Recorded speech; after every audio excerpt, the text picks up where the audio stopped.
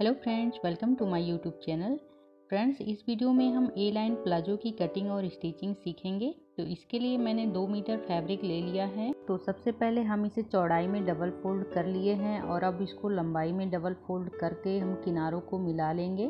तो इस तरीके से देखिए फोर फोल्ड हो जाता है। तो इसके किनारों को ठीक से मिला लेते हैं। इस प्लाजो की लंबाई हम सैंतीस इंच रेडी रखेंगे तो ये दो मीटर फैब्रिक में हो जाता है। यहाँ पर हम दो इंच का निशान लगाएँगे इलास्टिक के लिए और इसके बाद इस लाइन को सीधा कर लेंगे।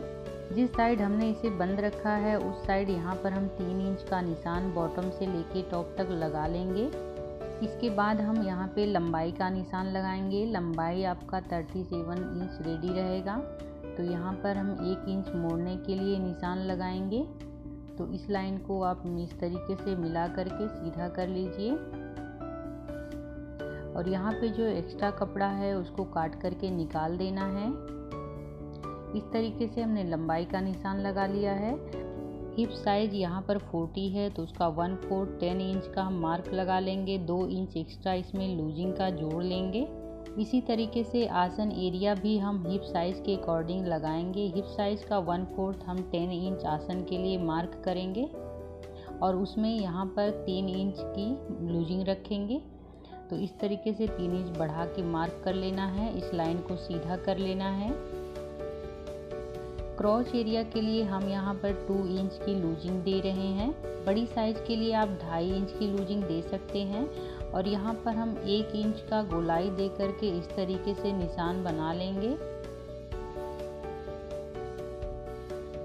और अब हमें इस पॉइंट को नीचे से मिला देना है। इस तरीके से सीधा मिला दीजिए। इसी तरीके से हम क्लोज साइड भी मार्किंग कर लेंगे। यहाँ पर जो तीन इंच का मैंने निशान लगाया था, उसको यहाँ पर नीचे से मिला लेना है। तो ये एक तरह से तिरछी लाइन यहाँ पर खिंच जाएगी। तो इस तरीके से बना लेना है और यहाँ पर एक इंच की गोलाई दे देनी है। मार्जिन में भी आपको एक इंच की गोलाई दे देनी है इस तरीके से और फिर इसको कट कर लेना है इसी निशान पर।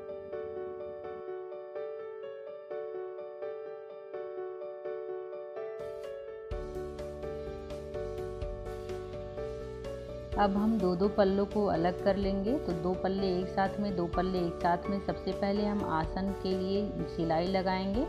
तो इस तरीके से आप मार्जिन निशान लगा करके आसन की सिलाई कर लीजिए।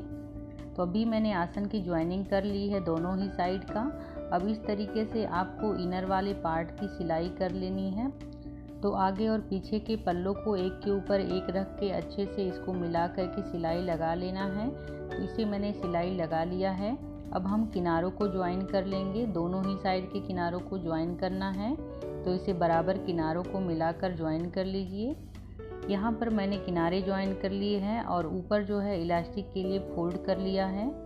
वहाँ पर दो इंच का जगह छोड़ रखा है इलास्टिक इंसर्ट करने के लिए।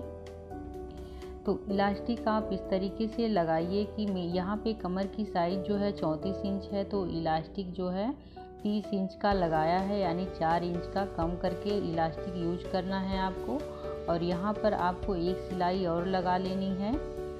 तो इस वाली सिलाई को लगाने से इलास्टिक जो है खिसकती नहीं है। और अब हम नीचे मोहरी की सिलाई लगा लेंगे। तो मोहरी सिलते समय आपको यहाँ पर ध्यान देना है कि दोनों साइड के जो जॉइंट हैं, उन्हें इस तरीके से फैलाकर फोल्ड करना है। इससे फिनिशिंग बहुत अच्छी आती है।